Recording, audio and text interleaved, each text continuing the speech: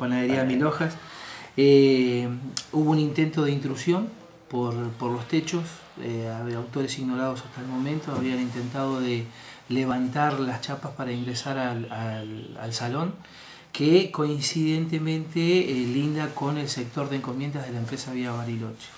De hecho, se hace presente el representante de esta empresa de transporte público de pasajeros, radicando el formal escrito de denuncia, teniendo en cuenta que, bueno, se podría haber llegado a, cometer un ilícito en contra de las encomiendas allí existentes en depósito. El modus operandi es similar al que utilizaron semanas atrás en Mr. Pollo. Eh, a ver, el, tipo de actividad es la misma, no sé si el modus operandi, ¿no? Porque es distinto, el trabajo que se hizo aparentemente a prima facie sería distinto. De todas maneras, es el mismo tipo de ilícito que se intentó cometer. Eh, insisto, nosotros tenemos alguna, algunas hipótesis de trabajo y una de ellas que nos, nos lleva a presumir de que tal vez estaban buscando alguna encomienda en particular. Eh, tendríamos algunos sospechosos al menos, de todas maneras sigue siendo materia de investigación y estamos trabajando. Vale decir que iban por las encomiendas del Vía Bariloche ingresar a Mil Hojas era únicamente una opción de entrada. A ver, es una de las hipótesis que estamos barajando. También, a ver, no nos olvidemos que, y por eso yo recalcaba de que el modus operandi no sería el mismo de Mr. Pollo. La vez pasada entraron en Mr. Pollo, llevaron un, botín más que magro. Eh, así que, bueno, insisto, estamos trabajando en el tema, tenemos alguna presunción al respecto si bien no tenemos elementos objetivos hasta el momento que nos hagan presumir y sindicar a, los presuntos autores, estamos siguiendo la línea de investigación. Su comisario, y ahí em, hay una nueva presunción ahora, que es la cual, eh, ¿qué encomienda están buscando? ¿Y por qué? ¿no? bueno, convengamos de que las encomiendas forman parte de la esfera íntima y privativa de las personas. Nosotros no desconocemos cuáles serán los los, intereses que pudieran haber en particular sobre alguna de las, de alguna de las encomiendas, pero no obstante, eh, insisto, estamos trabajando sobre ello, estamos investigando el tema, se le ha dado intervención a la justicia y de tener algún resultado ni hablar de que vamos a, darle lugar al juez interviniente y al fiscal. Toledo, el mismo día viernes eh, se produjeron lamentablemente dos decesos, uno de ellos el acompañante del vehículo Pointer que estaba en terapia intensiva desde hace una semana. Sí, bueno, como todos ustedes sabrán, venimos eh, dando cuenta de un accidente de tránsito que ocurrió el sábado antes pasado, eh, donde un vehículo menor, un Volkswagen Pointer, colisionó frontalmente la parte trasera de un vehículo utilitario, también un camión Volkswagen. Eh, producto de esta colisión, el acompañante del vehículo menor había quedado con lesiones de consideración y el día viernes se produjo eh, o se certificó la muerte encefálica de, la, de este muchacho, un joven muchacho. Eh, y el día sábado, bueno, se mm, certificó el paro cardiorrespiratorio que, por el cual termina de fenecer la vida de esta persona. Así que nosotros hemos recaratulado las actuaciones, en principio estábamos investigando el hecho como lesiones graves en accidente de tránsito, a partir del deceso de este joven eh, y con anuencia del juzgado, por supuesto, quien ya tiene conocimiento de esta situación, se ha recapitulado como homicidio culposo en accidente de tránsito. También el mismo viernes, un joven de 26 años de edad, oriundo del barrio Sina, tuvo un episodio comiendo un trozo de carne, también perdió la vida. Bueno, es un episodio doméstico. Nosotros eh, se nos pidió la colaboración justamente para notificar a, algunos familiares de esta situación, pero bueno, eh, insisto, un hecho doméstico, no policial, en el que bueno no tomamos demasiada intervención más que colaborar en la notificación de algún familiar. Correcto. Qué, tragedia, ¿no? Eh, es, a ver, la pérdida de vida es un hecho luctuoso, lamentable, pero, pero bueno insisto, son estas cosas irrisorias que a veces pasan y que llaman la atención de, del público, de la gente. Llaman la atención localidades así, chicas como, como esta, ¿no? Pero es muy común el descenso por este tipo de, de fortuitidad. De el broncoespasmo, en algún momento he leído alguna, alguna información que el broncoespasma es causa de muerte importante en algunos sectores. En otros casos, bueno, contraventores varios, ha habido un fin de semana donde notamos, inclusive ayer mismo, muchos conductores en horas de la tarde eh, nerviosos, acelerados, mucha ingesta de alcohol. ¿Sí? ¿Ustedes notan lo mismo? Sí, lamentablemente el tema de el exceso en el consumo de alcohol lleva a que las personas no solo pierdan las facultades eh, eh, por completo, pero sí por ahí se alteran, por ahí se resultan agresivos. Se generaron algunos inconvenientes donde hubo pleitos y reyertas entre distintas personas. En algunos de los casos tomó intervención esta policía, se produjo la detención teniendo en cuenta de que es una infracción a la ley contravencional, el artículo 38 para ser exacto. Eh, así que estuvimos alojados por un espacio de algunas horas algunos contraventores, eh, justamente para ser exacto cinco, y por este tipo de incidentes, ¿no? por estar peleando y haciendo desorden en la vía pública.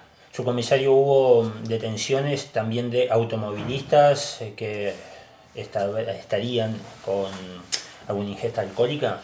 Eh, trabajó la gente de tránsito del municipio local, se sacaron de circulación algunos vehículos. Eh, policialmente eh, sacamos un vehículo por infracción al artículo 63A que da cuenta de la transgresión a esta norma, es el que estar conduciendo en estado de ebriedad. pero con intervención del juzgado de paz local, donde no toma participación la jueza de faltas local. También hubo hechos donde se denunciaron amenazas Sí, eh, durante el fin de semana recibimos dos denuncias por amenaza, problemas que por ahí también son domésticas, algunas, algunas discusiones entre vecinos, que donde por ahí el, lo elevado de la discusión lleva a que uno amenace a otro, que al otro le dé miedo y es donde se configura el delito de amenaza. Así que nosotros hemos recibido los escritos correspondientes, hemos dado intervención al juzgado de turno y estamos introduciendo dos causas por amenaza en lo que va eh, que tienen su génesis durante este fin de semana. ¿Están creciendo los casos de amenaza? No sé si están creciendo, eh, te puedo decir y confirmar de que estamos registrando más que tal vez el año pasado, de acuerdo a la estadística que nosotros estamos haciendo, este tipo de delitos. Eh, Quizás la gente lo está denunciando ahora, ¿no? Exactamente, por ahí la gente lo está denunciando. Yo insisto, no deja de ser un delito. Más allá de que nosotros contamos en la localidad con la Casa de la Justicia, donde un problema de vecinos y entre vecinos podría llegar a, ser sosegado y calmado con la intervención de, una mediación, ¿no? tercera ajena a la cuestión y que por ahí no se llega a mover el, mecanismo judicial por este tipo de delitos. De todas maneras, eh, lo quiero ratificar, aquel vecino que se siente amenazado, que crea que puede llegar a correr peligro su vida, habla de algún familiar, eh, puede venir a la comisaría a radicar el escrito formal, eh, imputando por supuesto a la persona que lo habría amenazado y nosotros vamos a darle intervención a la justicia como corresponde. Hubo también eh, un accidente, estamos yendo cronológicamente, vamos a terminar con otro hecho luctuoso, lamentablemente, ¿no? Sí. hubo un accidente en Mallinogado, un par de heridos. En realidad, sí, fue un accidente de tránsito, nosotros lo tenemos registrado con esta, por esta naturaleza. Eh, de todas maneras, mm, creo que se, se, trató de un desperfecto mecánico, que aparentemente podría haber sido la rotura de un extremo de dirección, eh, o la, la, explosión de uno de los neumáticos delanteros de un vehículo, una pickup Ford F100, con algunos años de antigüedad, que eh, se despistó y chocó contra un pino. producto de esto, el conductor iba acompañado de una persona mayor que iba con dos menores, los menores fueron trasladados y asistidos en el hospital local. Estuvieron solamente en observaciones, en principio no se registraron lesiones de, consideración. Esto fue en la zona de Wharton. Exactamente, ¿no? En la subida de Wharton aparentemente irían al Cerro Perito Moreno, quizás. Sí, el destino final de las personas no, nos consta, pero sí fue en este sector donde se ocurrió el accidente. Bueno, finalmente lo decíamos, lamentablemente terminamos con otro hecho luctuoso. Eh, que tiene algunos ribetes, si se quiere, cinematográficos, porque se habla de la muerte de una joven y luego de eso el intento de quemar la vivienda, otro intento de suicidio de por medio, pero para clarificar y hablar con la verdad, concretamente qué es lo que ocurrió en el barrio Luján. Bueno, para, para ser exacto y doy cuenta de lo que de la intervención nuestra desde nuestro punto objetivo, por supuesto. Estamos hablando, como usted muy bien dice, de un hecho luctuoso, lamentable, que no tiene que ver con un hecho policial, afortunadamente. Eh, en el día de ayer se constituye el oficial de servicio con personal a cargo y el médico del nosocomio local a efectos de constatar el, el, deceso de una persona. Al arribar a la morada se encuentran con el cuerpo sin vida de una mujer de aproximadamente 30 años, eh, que el médico bueno, certifica la muerte, sería producto de una enfermedad, ¿no? con lo cual es una, una muerte natural que no amerita la investigación policial en principio. Se que habría dejado de tomar la medicación para esta enfermedad que la quejaba. En principio es eh, lo que el, médico de hecho certifica en el certificado de función, ¿no? Vale la redundancia. Sí, este, bueno, pero el, el, doctor la conocía como paciente. Ah, así es. El, ah, el doctor la conocía como paciente. no, hay, no hay dudas entonces. No, no, no, por eso mismo es que no se habla de muerte dudosa. Eh, personal policial constituido en el lugar, eh, juntamente con el médico que, que la examina, se determina de que no existen signos de violencia, signos de defensa con lo cual, eh, por eso insisto, no se trata de un hecho policial. Bueno, eh, de eso se desencadena luego que esa misma vivienda comience a incendiarse, allí donde se habla de un presunto incendio intencional, algún intento de suicidio por algún familiar de esta joven, una, una, chica muy joven, 18, 19 años la que falleció, ¿no? Eh, bueno, en principio la, la persona sexo femenino de, de aproximadamente 30 años. Ah, ¿sí?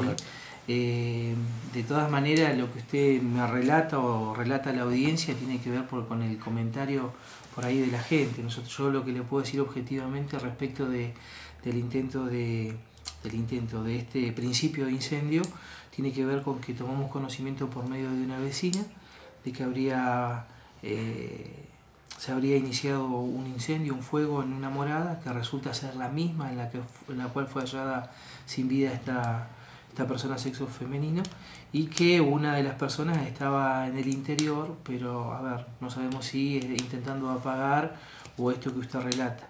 Lo cierto es que el, fuego fue sofocado y la persona fue asistida también por personal médico. ¿Sufrió algún daño? Sin lamentar ningún tipo de consecuencias humanas, más bien solo lo, material.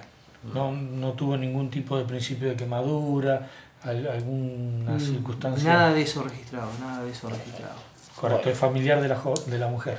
Sí, habría, existiría un, un, grado de familiaridad por no por consanguinidad, sino por eh, apego.